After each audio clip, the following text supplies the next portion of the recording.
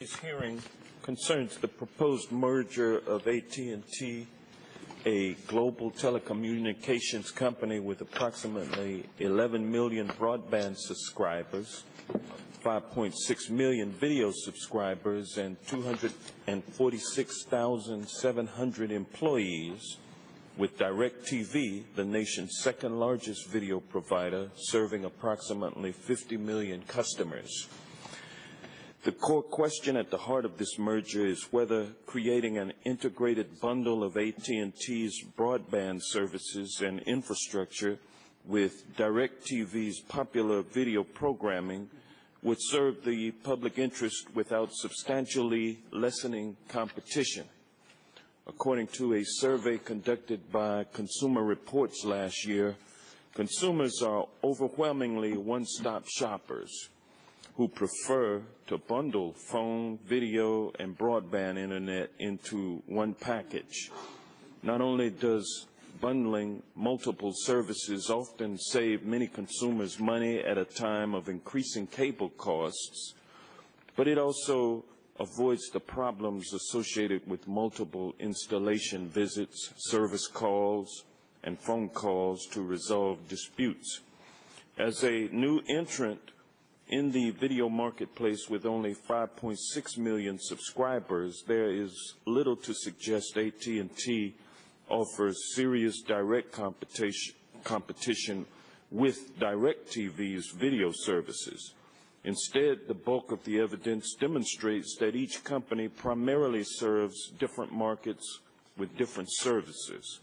Although the merger represents a concerning trend towards industry consolidation, there is ample evidence that this transaction would create considerable public interest benefits.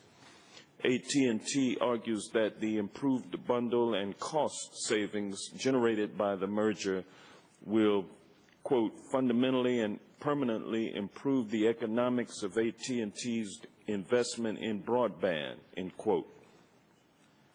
Specifically, AT&T plans to deploy its fiber network to 2 million homes with speeds up to 1 gigabyte per second and deploy high-speed broadband internet over a fixed wireless local loop to 13 million homes in largely rural areas with average speeds between 15 and 20 megabits per second. For millions of homes, this internet service will be the fastest ever improving high-speed access for millions while indirectly benefiting other competitors by bringing these homes online. As a strong advocate of digital inclusion, I commend this commitment to close the digital divide by bringing us measurably closer to the universal adoption of affordable high-speed internet.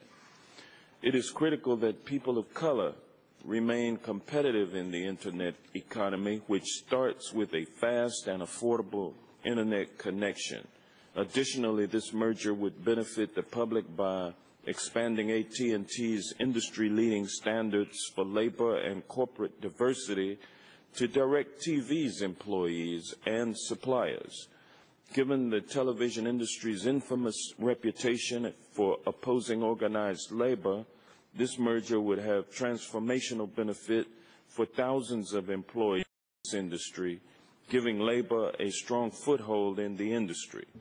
I urge the Federal Communications Commission and the Department of Justice to view this merger in light of these public benefits and to strongly hold the merged company to these commitments.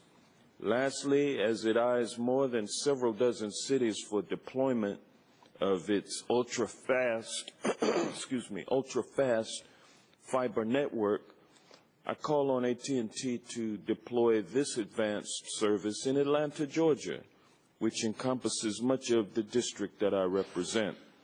Atlanta is swiftly becoming an innovation economy driven to create, tinker, and improve products and design deploying an all-fiber network in Atlanta would benefit many existing local startups as well as untold entrepreneurs, app developers, and other innovators still emerging.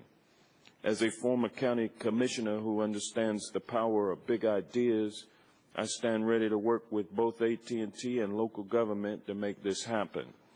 I thank the chair for holding this important oversight hearing, and I look forward to today's testimonies. And with that, I will yield back. Thank you very